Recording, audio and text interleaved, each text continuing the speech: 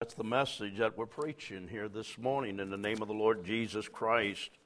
Hallelujah to the Lamb. Jesus is coming soon. And some would say, yes, well, we've heard that many times that he's coming soon. But understand something prophecy has not been fulfilled like we've seen prophecy today. Hear me, folk. Hallelujah to the Lamb. Soon and very soon, I've said it many times, we're going to see the King. I believe we are that terminal generation that will see the coming of the Lord Jesus Christ. Let me ask this question How many, uh, how many preachers today are he- heralding the message that Jesus is coming? How many preachers today are saying, Hey, Jesus is about to split the eastern skies? You won't hear much of that going on today. You know what they're talking about? What can I get in this life? My best life now. Are you hearing me? Folk, I want to tell you something. You can have and gain the whole world, but lose your own soul. What would it profit if a man gained the whole world and lose his own soul? Look at me. Jesus is coming back. Can you turn to your neighbor and tell him he's coming back?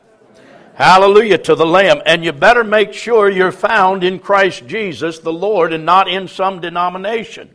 Your denomination is not going to save you. Your preacher is not going to save you. Your preacher should be warning you. Are you hearing me? And challenging you to live holy and pure lives before God Almighty. What? Did I say that? Pure and holy? You can't live pure and holy without the Holy Spirit living on the inside of you. Amen? Bless the Lord. In Joel 2 1, listen to what Joel says here. Joel says, Blow ye the trumpet in Zion, sound an alarm in my holy mountain. Let all the inhabitants of the land tremble, for the Lord cometh, for he is nigh at hand. Blow the trumpet. You know what they use a trumpet for in, in, in Old Testament times? Understand something. The Lord put that into effect to blow the trumpet, of, uh, especially when an enemy was about to approach or an enemy about to attack. They didn't have cell phones back then. How many know that? They didn't have cell phones. They didn't have a telegraph or tell a woman or what have you. Are you hearing me? Understand something. The only way that they could assemble themselves on the wall to do battle, hear me, is somebody blow the trumpet. Blow the alarm in Zion. Can I tell you something? Pastor Martin's blowing the trumpet in Zion. Prepare your heart for the coming of the Lord draweth nigh in Jesus' name. Hear me. Hallelujah to the Lamb. In uh, John, or I'm sorry, in Matthew 1 through 3, we, we see something here. Uh, uh, where am I at here? Matthew 1. We see this. I'm used to that being on the back, but it's not on there right now. So I'm going to have to flip over here. Hallelujah. Matthew 3, 1 through 3. Listen to what it says. In those days came John the Baptist preaching in the wilderness of Judea and saying, Help me, repent ye, for the kingdom of heaven is at hand. For this is he that was spoken of by the prophet Isaiah, saying, The voice of one crying in the wilderness, Prepare ye the way of the Lord, make his path straight. Hallelujah. Can you say that with me, that last part? Make his path straight. Can I tell you the end time message that ought to be heralding from the pulpits of the United States of America and in third world countries as, well? Repent for the kingdom of God is nigh. Make his way straight in the name of the Lord. Jesus said, straight is the way, and I'm sorry, broad is the way to destruction, and narrow is the way to eternal life. Understand something, child of God. Hallelujah to the Lamb. Understand it is a narrow walk for those that, that, uh, that are to enter into the kingdom of God Almighty. And understand something, there aren't many ways, there is one way, and that way is Jesus Christ and Him and Him alone. Matter of fact, the Bible says this the Bible says that He is the door to the sheepfold. No person enters in without coming through that door. That door is Jesus Christ and Him crucified. He is the way, He is the truth, and He is the life. Somebody say amen. Hallelujah to the Lamb. Ought not the message that Jesus is coming be heralded from the pulpits today here in the United States of America with what we're seeing going on over in the Middle East right now and what we're seeing going on in our nation today? How many know it's not hunky dory in this nation?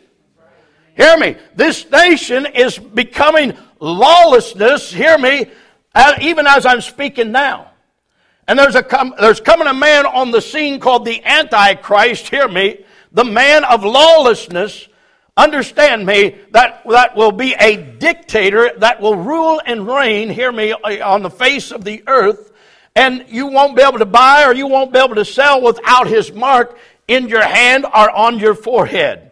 I believe we're coming very close to that. We're coming to a cashless society. We're coming to a one world government. We're coming to a one world religion. We're seeing all this being set up before us. Are you hearing me, child of God? That in itself ought to make your head stand on end or make you begin to spin your wheels and think maybe we are the terminal generation.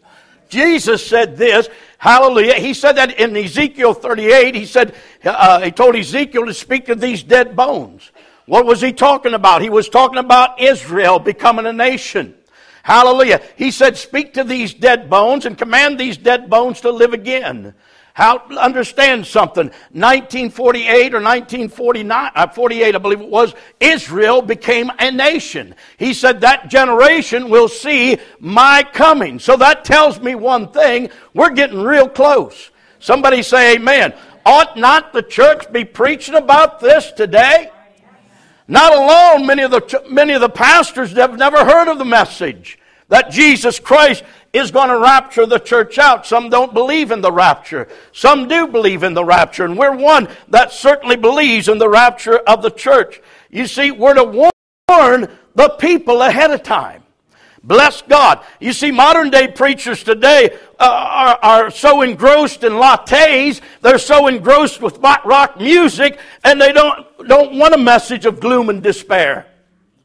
But can I tell you something? If you read the Bible and they read the same Bible that I'm reading, look at me. The end is judgment being poured out upon the face of the earth. And I don't know about you, but I don't want to face the judgment of God. That's why I've given my heart and life to the Lord Jesus Christ. And understand me. Understand me. Hallelujah. It's not lattes and it's not rock music that's going to cause you to be sustained in this last day. Hear me, child of God. The only thing that's going to sustain you is are you anchored and steadfast and unmovable and know the word of the living God in the name of the Lord Jesus. Come on. Hallelujah to the Lamb. Bless the Lord. You know what? I, and, and I, I say this in all sincerity that much of the church world, what they're producing today, look at me, is nothing but entertainment in the house of God.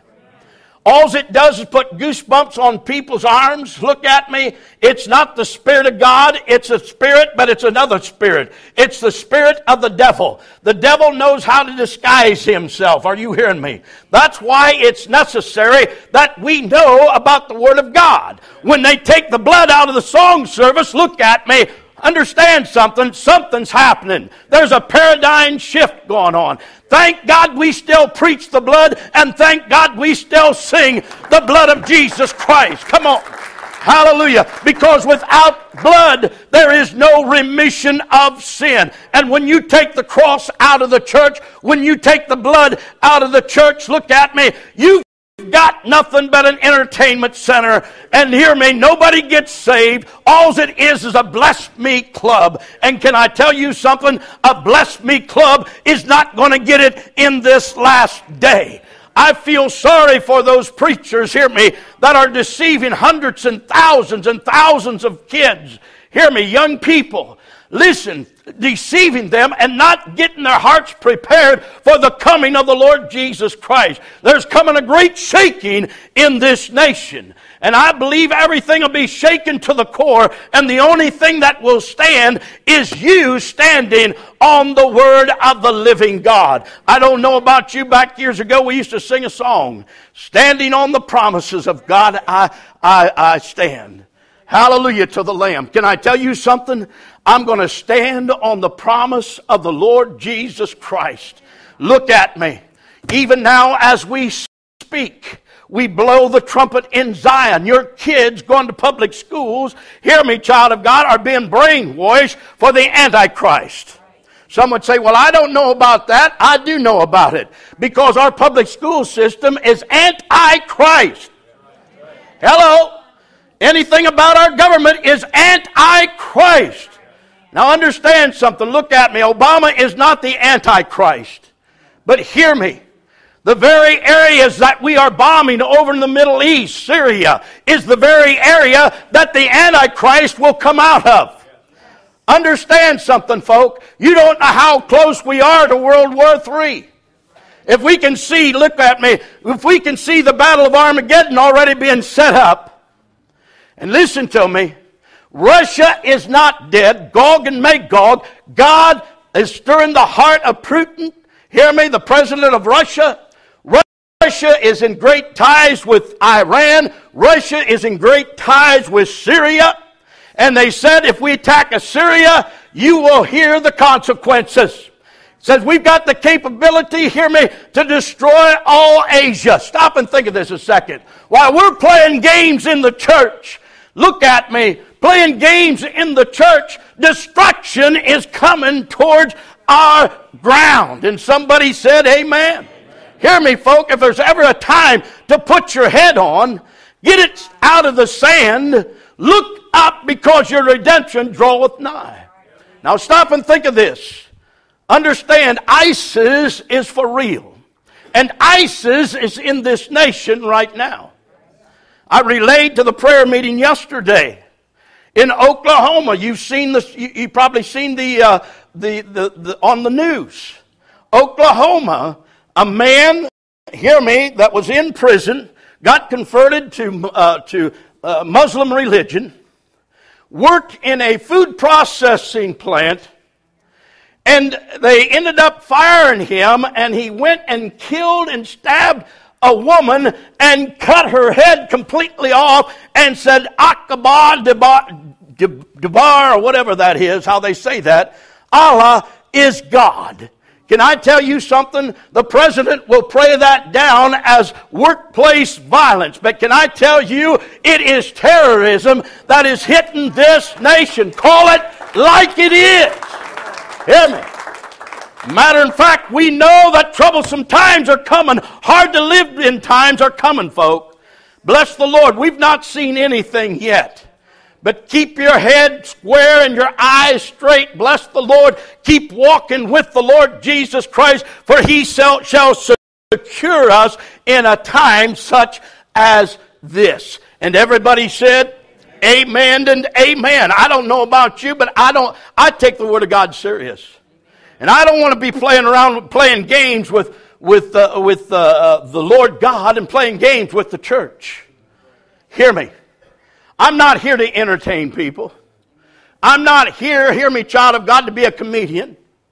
I'm here to be a preacher of the gospel of Jesus Christ and to blow the trumpet unto the people and say, Prepare your hearts, make straight the way of the Lord Jesus Christ because he comes soon in the name of the Lord. Hallelujah. And you know what I'm tagged as? A preacher of gloom and doom. Can I tell you something? Listen to me. According to Scripture, Jeremiah was a preacher of gloom and doom. According to Scripture, hear me, hallelujah, Noah was a preacher of gloom and doom. But God shut him in and passed judgment upon a whole nation, upon the world. Are you hearing me? Can I tell you something?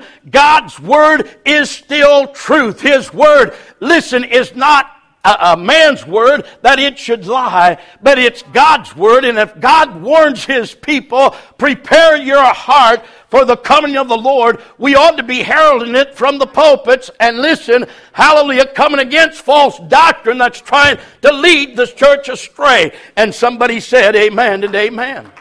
Hallelujah. But no, we're too engrossed in our lattes. We're too engrossed in our coffee shops. We're too engrossed, hear me, in our, in, our, in our smoke bombs and all different types of things. We're too engrossed in that to begin to speak to the hearts of the people to prepare your heart for the coming of the Lord Jesus Christ. Hear me, child of God. Bless the Lord forevermore. Jesus is coming soon. Putin himself, I was I got on the internet and I started going through some of the some of the uh, headlines in the news. You know what he's doing right now? He's putting missiles in Central America at the point at the United States of America. I'm talking about nuclear warfare. Folk, we are on the brink of chaos. We are on the brink of destruction. Well, you're a prophet that brings gloom and doom. No, I'm a prophet, hear me, and I don't declare myself a prophet. All I know is what the Word of God declares. Are you hearing me, child of God? Hallelujah. And I'm declaring unto you Hallelujah. If there's ever a time to be red hot and on fire for God, if there's ever a time to reach our families with the gospel of the Lord Jesus Christ, today is the day in Jesus' name. Hallelujah. We cannot sit back idly. Bless the Lord forevermore and evermore. Putin wants to put uh, uh, uh, uh, missiles down in Central America. Stop and think of this a second. Wants to put missiles in Cuba and point them toward the United States of America. Can I tell you something? This world is in chaos. And what's the church doing? Tiptoeing through the tulips and entertainments and Hollywood programs on the stage. Ought not we be mourning, weeping, and crying for lost humanity that God might spare a nation? Oh, we don't want to hear anything like that. That's all right. I'm still going to blow the whistle.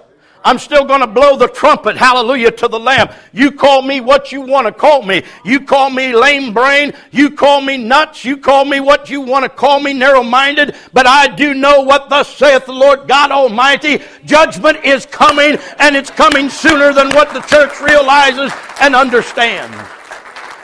The blood of 1.5 million babies aborted in this nation every year is crying out for revenge. Are you hearing me, child of God? Stop and think of this. Christianity is literally being blasphemed across this nation. Hallelujah. God, is, uh, God has been taken out of our armed forces. They don't want chaplains to pray. They don't want chaplains to bring Bibles. Are you hearing me, child of God? But it's all right to bring the Quran. Something's happening in this nation. And I say, God, spare a nation. Help us, Lord. We need a Holy Ghost, God sent, sin killing revival run through the church today in the name of Jesus. The only thing that can turn this around is a Holy Ghost revival. And it's not going to come from a man, it's going to come from God Himself because God says no man will get glory but I'll receive all glory. And I've got a funny feeling that every atheist, every agnostic, hear me, child of God, Hear me, all these entertainment centers that call themselves churches, they will bow a knee to the King of Kings and the Lord of Lords and give an account of what they have preached behind the pulpits in the name of the Lord. Hear me, child of God.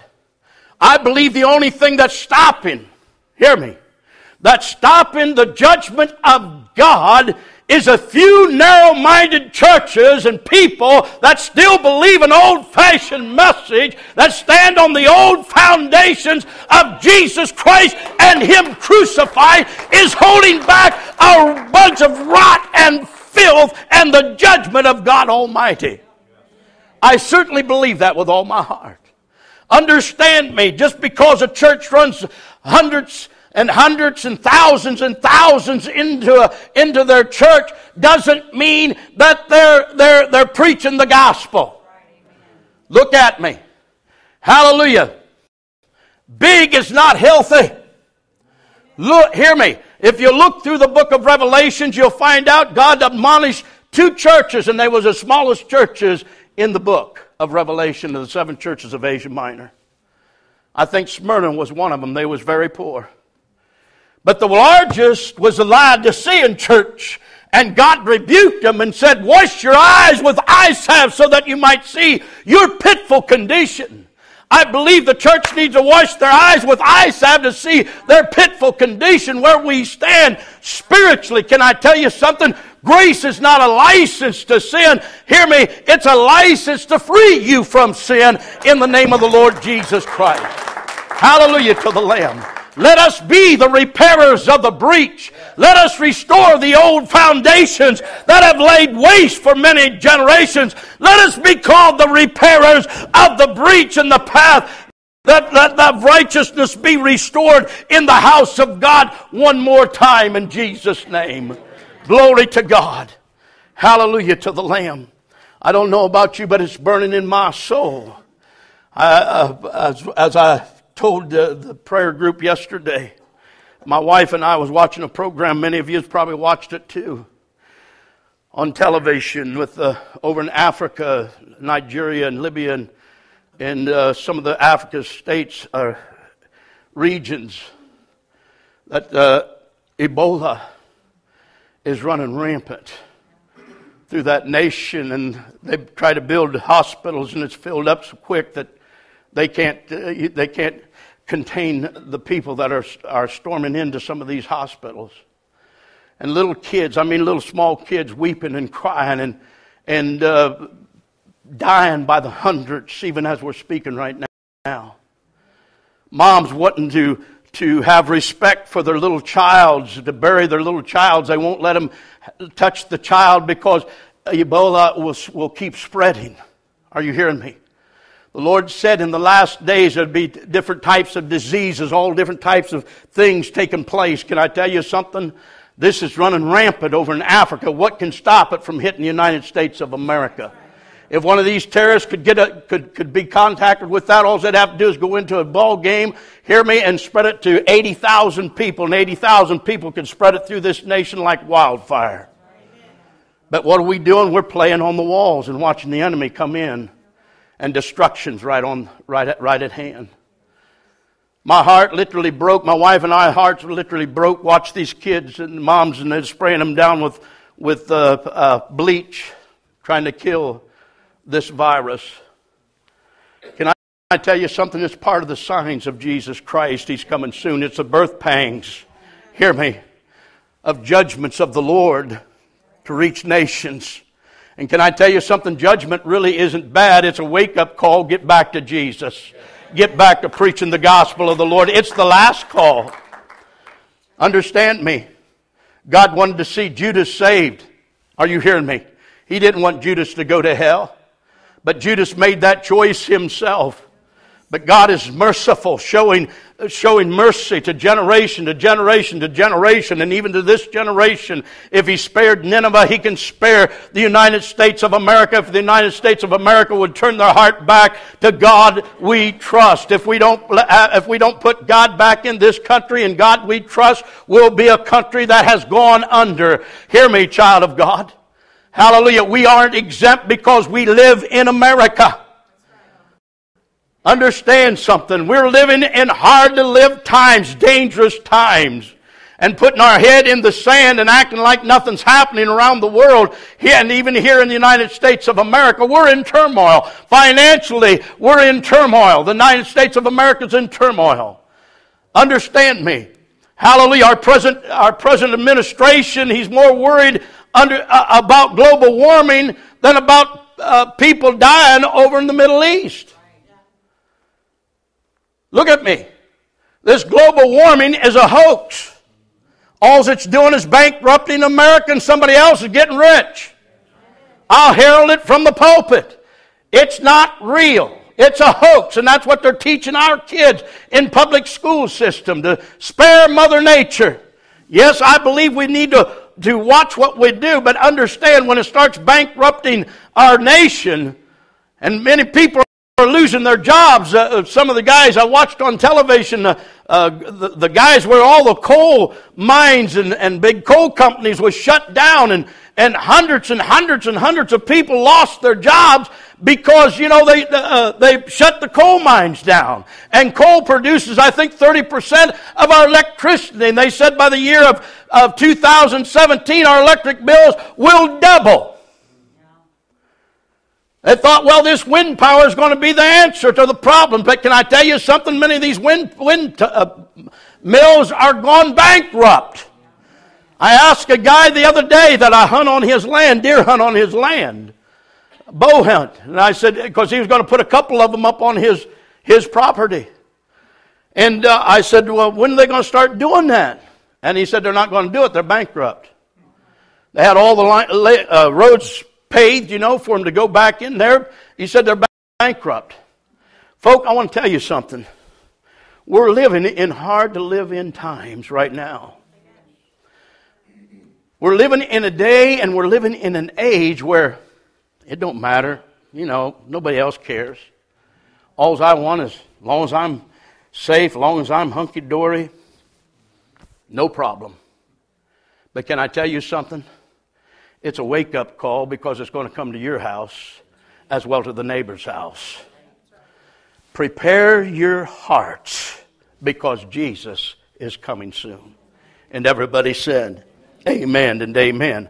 I want us to go to 2 Timothy, if you would please. 2 Timothy 3.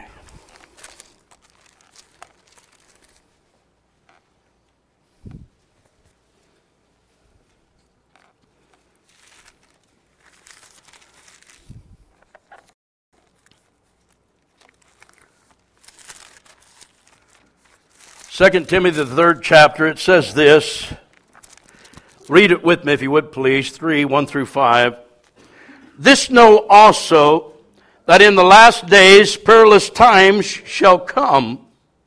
Now read this next part, if you would, please. For men shall be lovers of their own selves. Now understand something here before we go any further. He's not talking about the world, he's talking about the church here. Timothy is, or Paul speaking to Timothy, he's talking about the condition of the church. Men shall be lovers of themselves. What's the, pre, what's the message being heralded in the church world today? How to have a better you, or how to be a better you. Can I tell you something? You know how to be a better you? Nail yous to the cross. Can I say that again? Nail yous to the cross. You won't have problems with yous. Selfishness. Are you hearing me, child of God? Hallelujah. When Christ died on the cross, look at me. Selfishness died with him. We've got to reckon ourselves dead to that.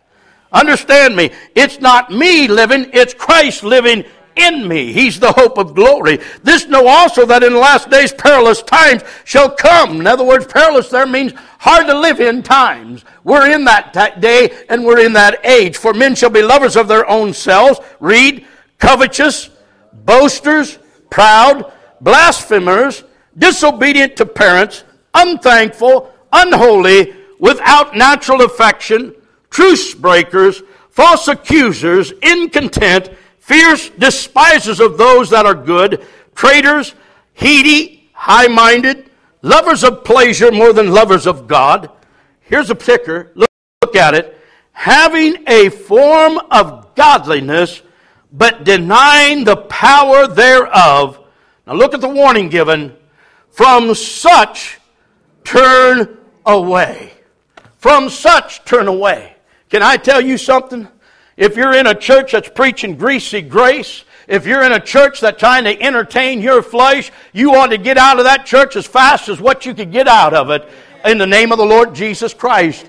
Understand me. You're not going to get you're not going to be convicted of your sin. You're not going to be challenged to live holy living. Are you hearing me? Without no man will see God. You won't hear a message like that. You won't hear a message on hell. Hear me. All you'll hear is bliss.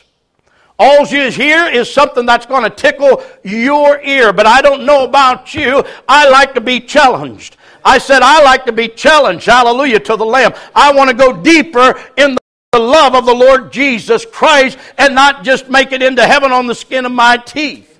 Many are going to get in on the skin of their teeth. Look at me. Hallelujah. Don't play Russian roulette with your soul. We're talking about eternity here. You're either going to heaven or you're going to hell, one of the two. Understand me. Did I say hell? Yes, I said hell. Well, that's left the church too. There's too many watered down preachers that throw wet blankets over hell.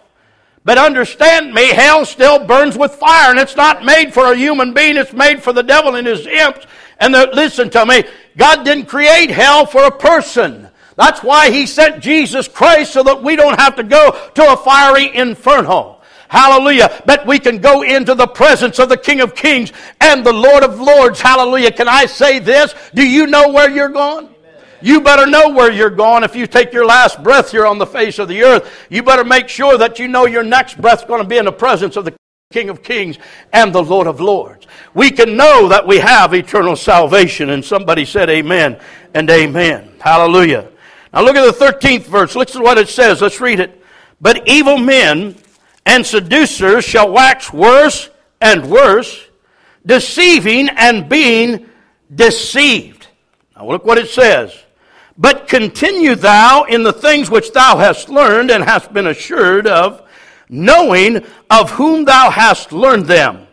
And from and that from a child a child thou hast known the holy scriptures, which are, are able to make thee wise unto salvation through faith which is in Christ Jesus. All scripture is given by inspiration, in other words, God breathed, of God, and is profitable for doctrine, for reproof, for correction, for instruction in righteousness, that the man of God may be perfect, thoroughly finished unto all good works. Now look, down, jump down to the fourth verse, if you would please.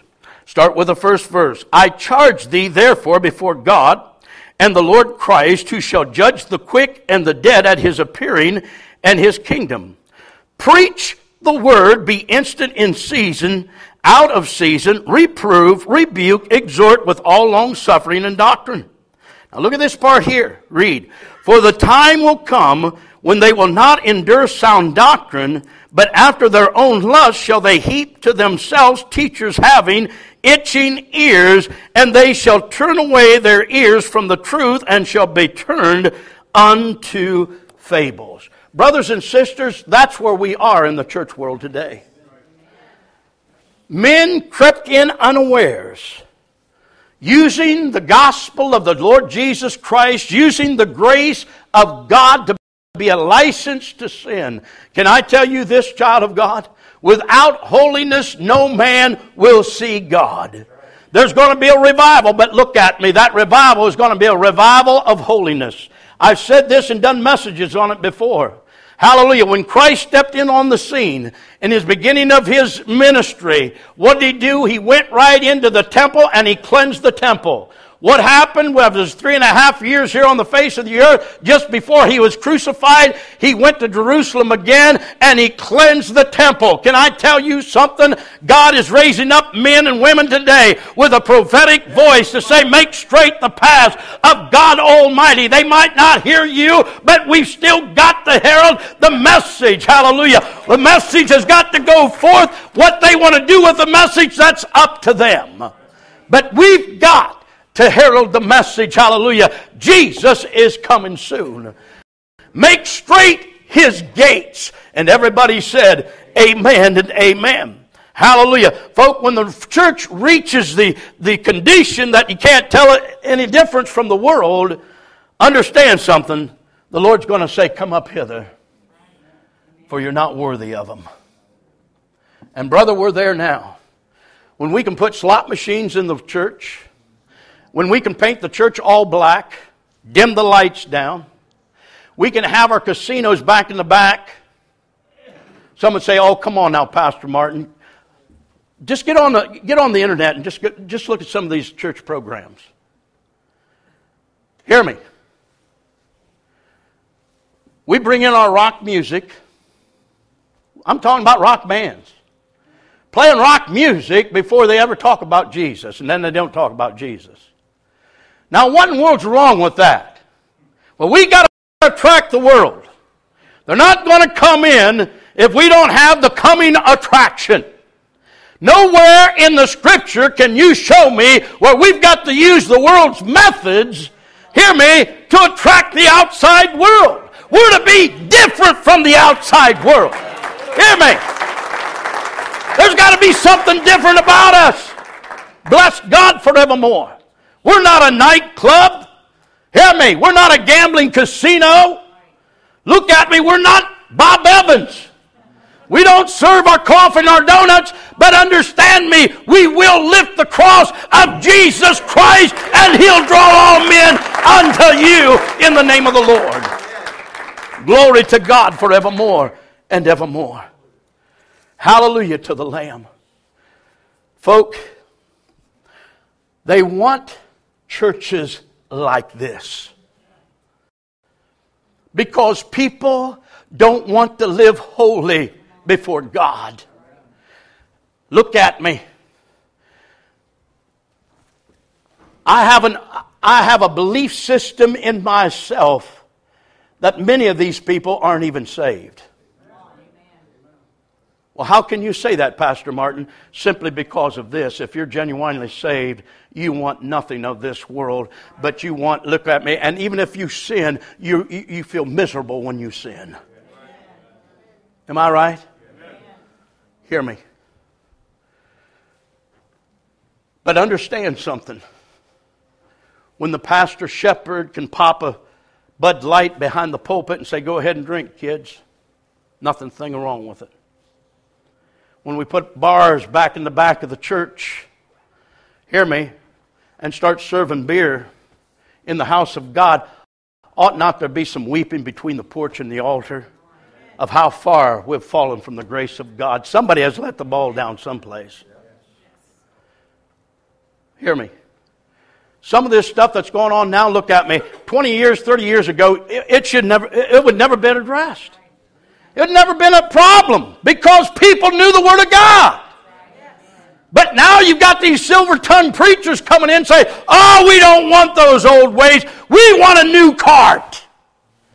Well, go ahead and use your new cart, but that new cart's going to take you right to hell. I don't know about you, but give me the cross of Calvary anytime over a new cart in the name of the Lord Jesus Christ. Hallelujah to the Lord forevermore and evermore. But Pastor Martin, you won't get very many people in your church by preaching like that. Understand me. Hallelujah to the Lamb. God knows who's going to be a part of this church next year.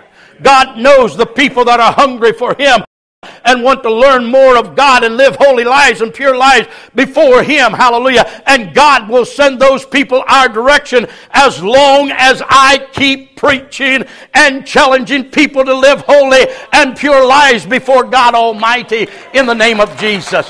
We cannot be fornicating in the back seat and coming into church on Sunday morning and singing Amazing Grace, how sweet the sound. We can't be going out getting drunk on Saturday night and coming into the church and say, Oh, what a friend we have in Jesus. Come on, church. Come on, church. Hear me. The Bible says, Be ye separate and come out from among them and touch not the unclean thing, and I'll be a God unto you, and you will be a people unto me. Hallelujah. What's he saying? He's saying, Don't participate in what they're doing, but what we're doing is taking their ways and bringing it into the church. I was, uh, what was I we doing one night? Honey was watching television, and I don't know what it was, but anyhow, uh, it might have been. Uh, I can't think of what it was, but they was do- dancing. It might have been Dancing with the Stars or something like that. And I don't watch that program, but just kind of running through the channels. And I stopped a little bit. It wasn't Dancing with the Stars. I can't. I don't know what it was, but in, it's immaterial. But they was dancing a new dance, and I looked over at my wife and I said, "That'd be in the church within a year's time." That dance that they're doing in the world. I said that'd be in the church. Mark my words, it'll be in the church. They'll take the ways of the world and try to tack Christianity onto it. But can I tell you something? It's a new cart, and it stench, a stench in the nostrils of God Almighty. Hallelujah. It's time to get serious before God because we're coming to the climax of the coming of the Lord Jesus Christ. And don't be carried away. Hear me. With the itchy ear syndrome. Don't let these preachers tickle your ears and, and give you a sensation. Oh man, this is just wonderful. Can I tell you something? If it's not Jesus Christ and Him crucified, it's a false gospel. I said it's a false gospel. You lay the cross down alongside of any of it. Hear me, child of God. And if it don't line up, look at me. It's false. I'm going to do a study coming very soon, and it's going to be on overhead called the tabernacle. And brothers and sisters, understand me, in that tabernacle was a place called the Holy of Holies. And only the high priest at once a year could enter into that holy place with God, hear me, to, to take the blood of a, of a spotless lamb to atone for the sins of Israel. Now understand something. To get into the Holy of Holies, blood had had to be shed upon that priest. And if that priest had sin in his life, he would die instantly in the presence of God Almighty. Stop and think of this. They had a rope tied on his foot that if he had sinned, he died, nobody could go in to get him, or they'd die too. So they had to make sure they was squeaky clean. Hallelujah. And he had bells around his garments. And if they kept hearing those bells tinkling, they knew, hear me, he is still alive. But when those bells quit tinkling, they had to pull him out. He was dead. No man can live in the presence of God without the shedding of the blood of Jesus Christ. And when we start bringing in, hear me, something other than the blood of Jesus Christ into the very holy of holies of God, don't be surprised if people die spiritually. Hello. Hear me. When you hear in heaven around the throne of God angels and all those that have went before us bowing before our God and our King crying out, Holy, holy, holy, Lord God Almighty. I don't hear people going in there, hear me, in heaven going, we come in to give to give you your praises. Can I tell you something? That's a stitch in the master's nostrils. Hear me. I might get hard on people, hear me, with music, but understand something. God will not accept such stuff in the Holy of Holies. Hallelujah. When we do that message, you'll find out. Understand me, child of God. Some of the stuff that's going on today that they put Christianity behind it, don't be gullible and swallow it. Test it. I said test it and see if it's not of God or not. And everybody said amen and amen. Hallelujah. When we're dressing up like rock stars and mohawk hawk, uh, uh, hairdos and, and what have you, acting like the world's rock bands. Why? So that we can attract the outside world. Be ye separate and come out from among them. We're not to look like them. We're not to act like them. We're a called out people, pure and holy before God Almighty. Hallelujah to the Lamb. Glory to God. And I've got a funny feeling God's going to rearrange the furniture that has been disarranged, hallelujah, in this last day because there's a cleansing coming to the house of God. Yes, you're always going to have the ear tickling church because that's what they want, and God will give them preachers for that. Are you hearing me? But He'll also give you preachers that will preach truth and people will get saved. Oh, you mean tell me you still believe in that old fashioned message where people come to the altar and, and give their hearts and lives to the Lord and you literally make fools out of them and embarrass them? You better believe I give an altar call in the name of the Lord Jesus and see souls birth to the kingdom of God Almighty. You'll never see us taking you to the back room, hear me, and make keeping this thing a secret. Bless God. Yes, we'll lay hands and watch people be baptized in the Holy Ghost with the evidence of speaking in other tongues. Praise God forevermore and evermore. Hallelujah. Paul said, I'm not ashamed of the gospel of Christ, for it's the power of God unto salvation. Have we watered down our gospel to appease people? If we've done that, you don't need to be standing behind the pulpit. Paul says, Are you there because you want to please people?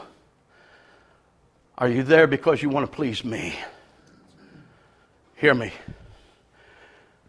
God is raising up a generation of prophets that will not be intimidated by man's opinion but they'll be straight laced. They'll know what thus saith the Lord God, and they'll speak boldly on the street corners, in the houses, and in the businesses.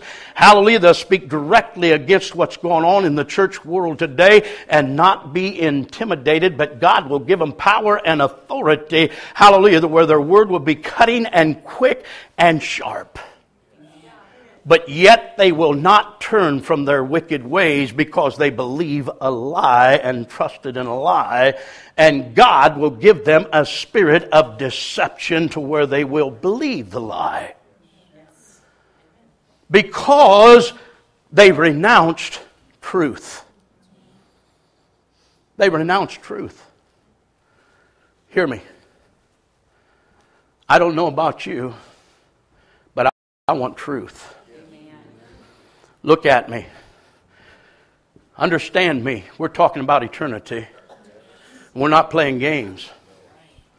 God is bringing this down to an end. And in the end time, He's going to have Him an end time church. Hear me. And it's not going to be an entertainment center but it's going to be a church without spot, without wrinkle. It's going to be red hot and on fire for God. Hallelujah. Look at me. Hallelujah. And they'll say, Take this whole world, but give me Jesus. They'll preach the cross with boldness. They'll preach the fire of God because the Holy Spirit is backing every word. And can I tell you something? Many's hearts will melt inside of them because of the convicting power of the Spirit of God, and they'll drop prostrate before God and say, What must we do, brethren, to be saved? And we'll say, Repent in the name of the Lord Jesus Christ, hallelujah, and you shall be born again in Jesus' name. Oh, did I say that, born again? Did I say repent? Don't you know that offend people? Well, can I tell you something? No murder, no homosexual. Hear me? No idolater, no, nor, no greedy person. Hear me? Nor swindler, nor gossip, nor busybody will ever enter into the kingdom of God. It's very straight, folk. Very narrow. Let all gossips, hear me, be find their place in the lake of fire as well as the liars, the cheats, and the fornicators and adulterers. Now, whoa, wait a minute, you're getting right down in my backyard. I know it. God's in our junk room, and He's cleaning out the junk in the name of the Lord Jesus Christ because He's not coming back for a junky church. He's not coming back for a half hearted church. He's coming back for a glorious church in the name of the Lord Jesus Christ. Hallelujah to the Lamb. Bless the Lord. Perilous times are upon us. We're seeing it everywhere. Hallelujah. Hear me over in, in, in Iraq where we're fighting ISIL over there and some of the cities, a small city over there. And uh, ISIL taking the heads off of the, these young little kids in front of their moms and dads. Watch their kids die because they're Christian. And we want to sit and be entertained in this house. God help us Get us back to our knees. Bring back the altars of God in the house of God. Let there be a sovereign move of God Almighty through His house in Jesus' name. Bless the Lord. I just don't want to have church. Hear me, child of God. I want to have church. I said, I just don't want to have church. I want to have church. And when I say church the first time, I'm talking about a sermonette, a couple songs, and out the door, and we've done our duty. No, I want something that's going to change our life for eternity in the name of the Lord. I want a message that's going to challenge me to the core in the name of the Lord Jesus Christ. I want a message to examine myself to see if I'm in the faith or I'm a reprobate, one of the two. Bless God. It's no wonder they won't let me preach in a lot of churches. You know, it amazes me, even in our own denomination, a lot of them want to come and preach here, and I let them come and preach here, but they never ask me to preach in their church. You reap what you sow. I've had several of them want to preach in the church. You know what? I don't give them time of day. Because they know what type of preach, preaching I do. And I might upset their apple cart. And it could be a possibility. Not I, but the Holy Ghost. You don't know what you're going to say from one thing to another when the Holy Spirit gets on you.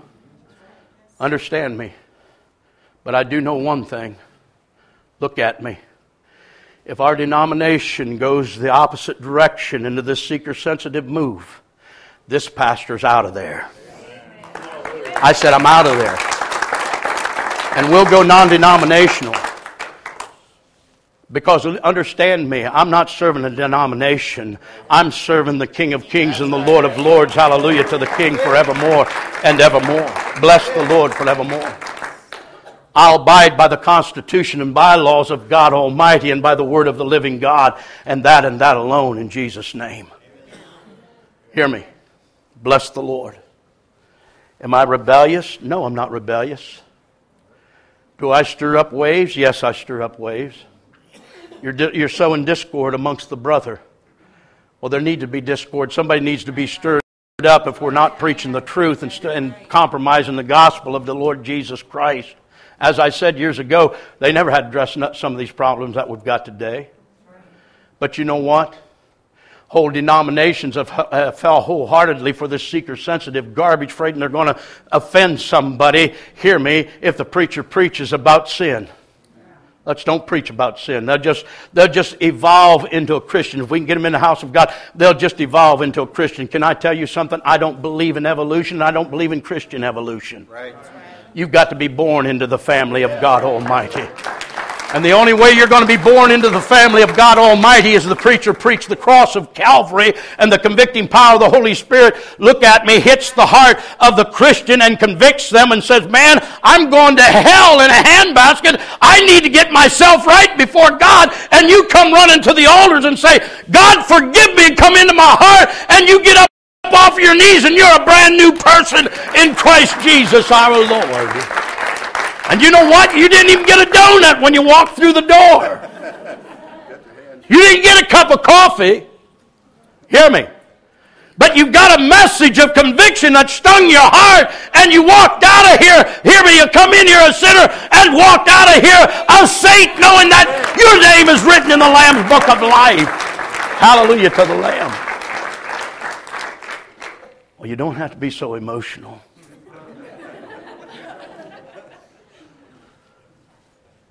Hear me.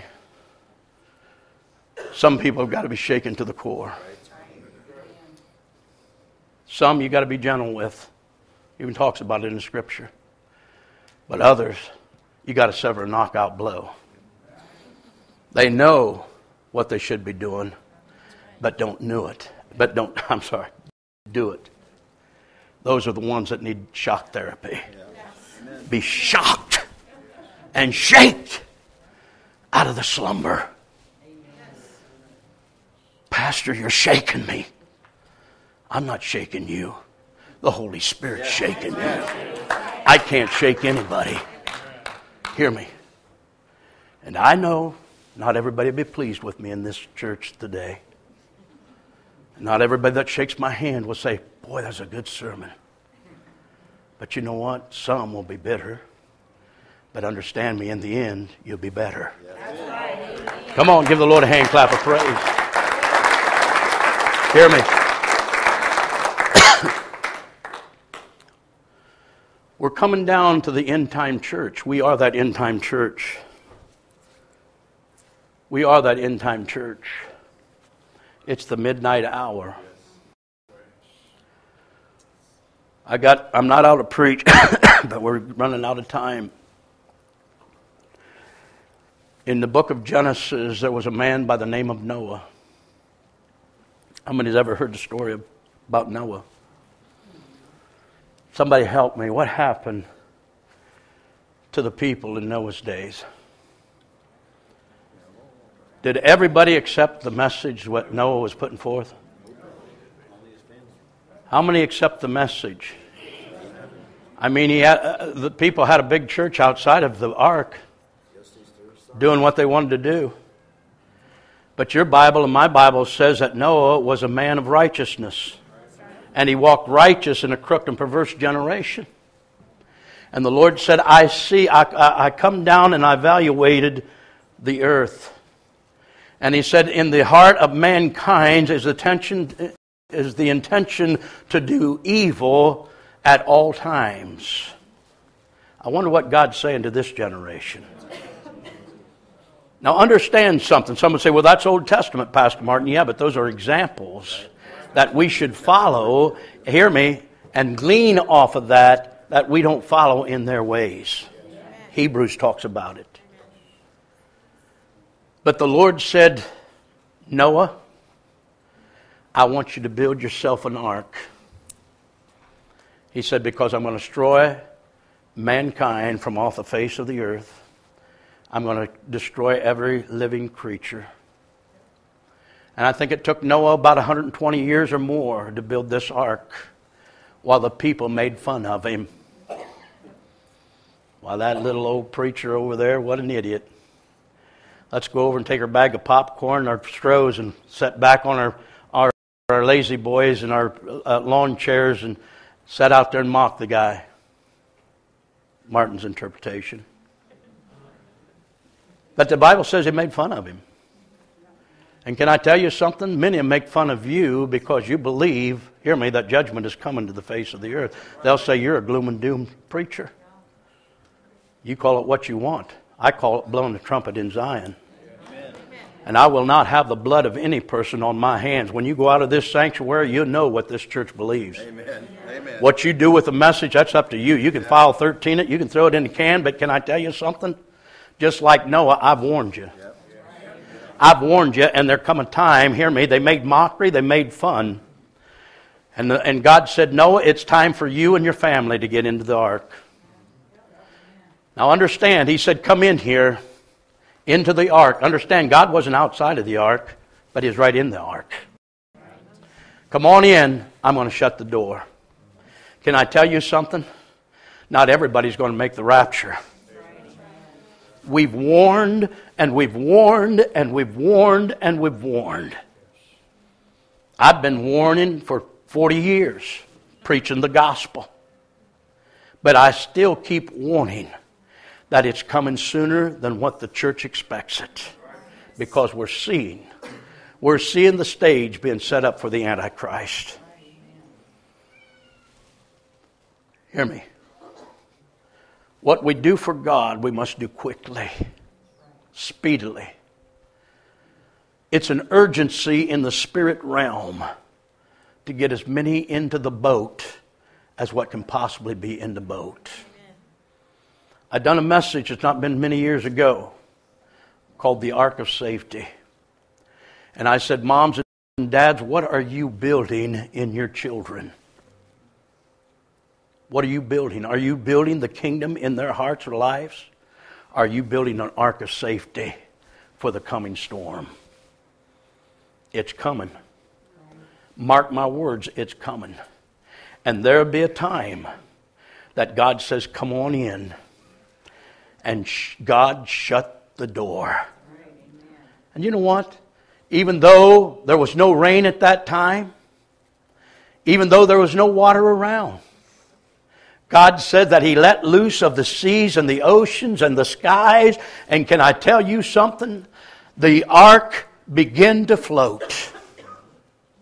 People might have went to the mountaintops and thought that, well, we'll go to the mountaintops and the mountaintops will secure us. Can I tell you something? Nothing in this world will secure you from the coming judgment. You've got to be in the ark of safety. You've got to be in Christ Jesus, your Lord. Hallelujah. And Him and Him alone.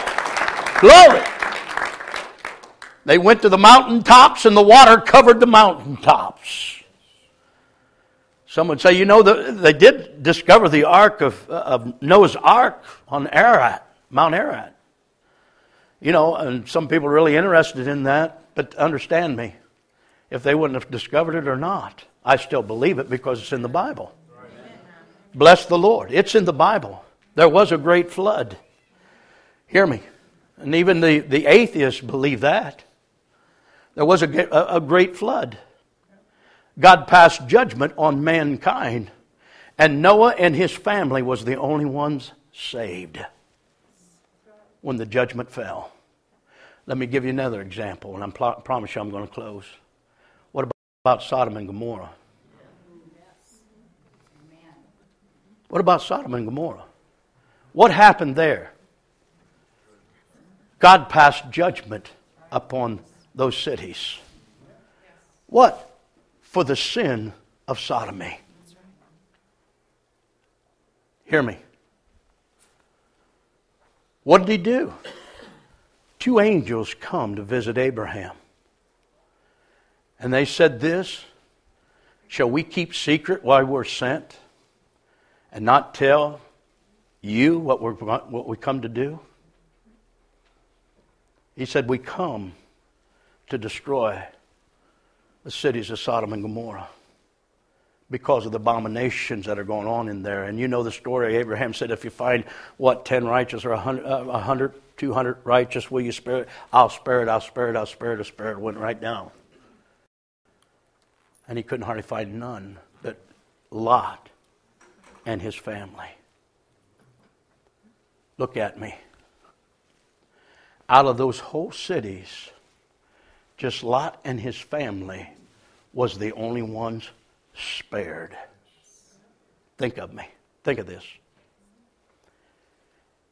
And even his own wife was attached to the city. Because the Lord said, when, I, when you walk out, don't look back. And what happened to Lot's wife? She looked back and turned to a pillar of salt. Died. Once we get saved, don't look back, folks. The past is in the past. You've got a bright future ahead of you in the name of the Lord. Hallelujah to the Lord. Yes, we once used to be all these things. Hear me. No, I wasn't a homosexual. But I used to be a lot of things. But understand me. Hear me. I used to be. BC before Christ all those old things are thrown into the sea of forgetfulness. Bless God. I've got a brand new start in Christ Jesus, my Lord. I've been born again. Glory to God in the name of the Lord Jesus. Hallelujah to the Lamb. Hear me. Jesus is coming soon. And I believe the Lord has gone through the churches today and surveying every church. And I believe he's going through this church, and we thank God for the moves of the Spirit and the people that got been saved and baptized in the Holy Ghost in this church. Amen. Hear me. That God keep adding in the name of the Lord. Because I believe there's a lot in this northwest area that are hungry for God. Right. Hallelujah to the Lamb. I believe there's still a light in the lighthouse yeah. at Harvest Field Pentecostal yeah. Church of God in Jesus' name. Bless the Lord. Now, hear me. Praise God. This is a time that we need to survey our own selves to see where I stand in the Lord Jesus Christ. First Thessalonians says he comes like a thief in the night. You don't know when he's going to come. He could come today before we end this message. He could come on your way home. But he said he comes like a thief in the night. He don't blow a trumpet and say, "Hey, how many seen that that uh, commercial? And they give this woman a, a card and it says, "You're going to have a heart attack today." You Ever seen that commercial? You're not going to get. I'm going to come today. You won't know. Hear me. It may, might be the last day that we spend here on the face of the earth, and we enter into eternity.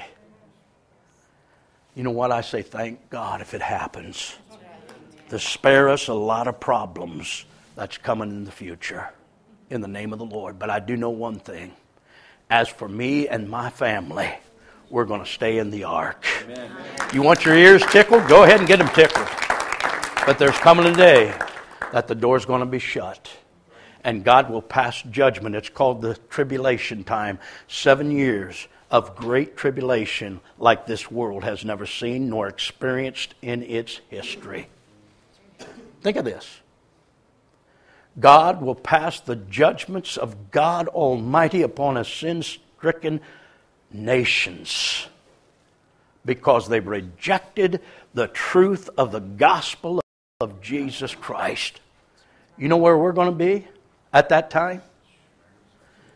We're going to be seated with Him in heavenly places in Jesus' name. Now, hear me. With every head bowed, every eye closed in here this morning. If you've never made Jesus Christ the Lord of your life, let this be a warning to you. You don't have to go through the great tribulation. Today is the day of salvation. You're not here by happenstance. You're here because the Spirit of God wants to speak something into your heart. And I believe even now that God is, through the power of the Spirit, is speaking to hearts. And I even speak to Christians. Christians, it's time to be on fire for God. It's time to allow the Holy Spirit, hallelujah, to flow in and through us in the name of the Lord Jesus Christ. Because there'll come a time that it'll be too late. I asked the question this morning Hallelujah. Do you know Jesus as a personal Savior? Do you have a relationship with Him? I'm not talking about mentally or historically, but I'm talking about personal one to one relationship. If you're here this morning and you don't have a relationship with Him, look at me. Don't delay. Get into the family of God before it's too late. And if you're here this morning, and you don't have that relationship, I want you to just shoot that hand up real high, right where you're at. We're not here to embarrass, bless the Lord. It's the best decision a person can make is to invite Jesus Christ into your heart and into your life. And if you're here this morning and you've never made that decision but want to make that decision, I want you to lift up your hand wherever you're at if you're here this morning. Hallelujah. Are you here this morning? Bless God. Bless the Lord. I'm not going to delay the message. Jesus never forced anybody to serve him.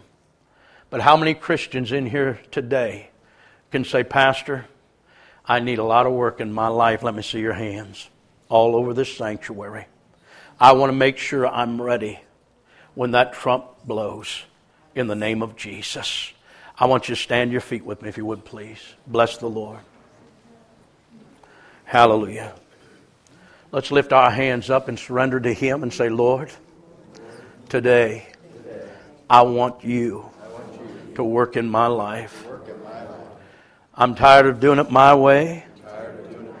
Let stubbornness be gone from us. Let all pride be crucified. I want nothing but the pure gold of your Holy Spirit working in my life. Lord, today we surrender all. Holy Spirit, here am I. Work through me and in me. In the name of Jesus, today I believe there's a turnaround. In the name of the Lord, I curse all darkness and I want nothing but the light of the gospel of Christ to build me, encourage me, strengthen me. In Jesus' name, I accept that by faith in the name of the Lord. Amen and amen. Can you give the Lord a hand clap of praise if you would please? Bless the Lord. Hallelujah. Praise God. There was a man come into the office today just before service, before anybody got here, before me, dying with cancer. Come up to the office and was talking to me. So I was sent over here by Brother Bill Reeder. How many remember Brother Bill Reeder? And Bill left me a message on my answer machine. Said I'm sending a man over to talk to. He's dying of cancer, and and uh, I've I've told him to go. Told him to come o- him to come over to the church. He was here at the church dying of cancer. And I'm, he looked very frail. And we set, I was standing out there and, and uh, trying to get ready for the service this morning, putting notes down so that Jesse could put it up on the screen and what have you.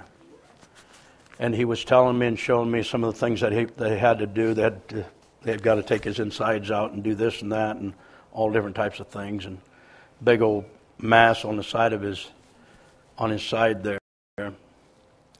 And I said, Let me ask you one question.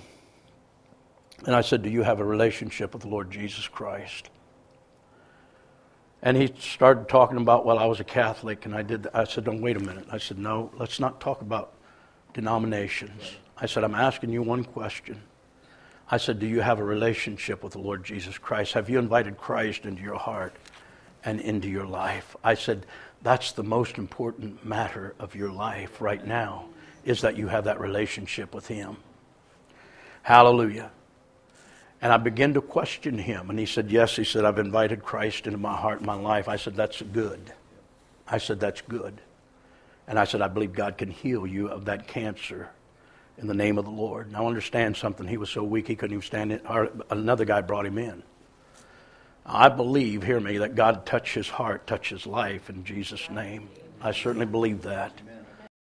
His name's Greg, so I'm going to ask you if you just remember Greg in your prayers, if you would please. Bless the Lord that God deal bountifully with his life and that he receive a miracle from God Almighty in the name of the Lord Jesus. Hallelujah. But I said that to say this the most important thing in your life is your relationship that you have with the Lord Jesus Christ, and that alone. That alone. Yes, health is vitally important, but the most important, we're talking about eternal dividends. Where will I spend eternity? Will I spend it in heaven or will I spend it in hell? Hallelujah. I don't know about you, but thank God we can know where we're going. And I'm not going to preach no more to you. I'm finished. I'm done. I'm going to let you go in the name of the Lord. I'm going to ask my wife to close us in prayer, if you would, please, honey.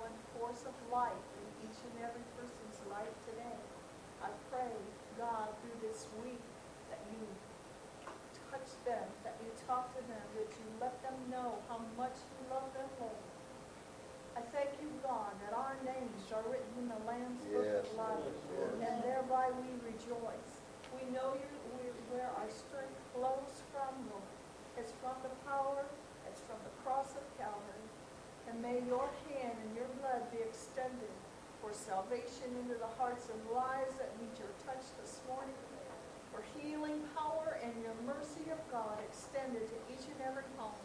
Save our loved ones for the glory of God because we know time is short. And I thank you, God, that you are Jehovah Rapha, Jehovah Jireh, our healer, our provider, and our soon-coming King. We love you. We bless you today. In Jesus' name.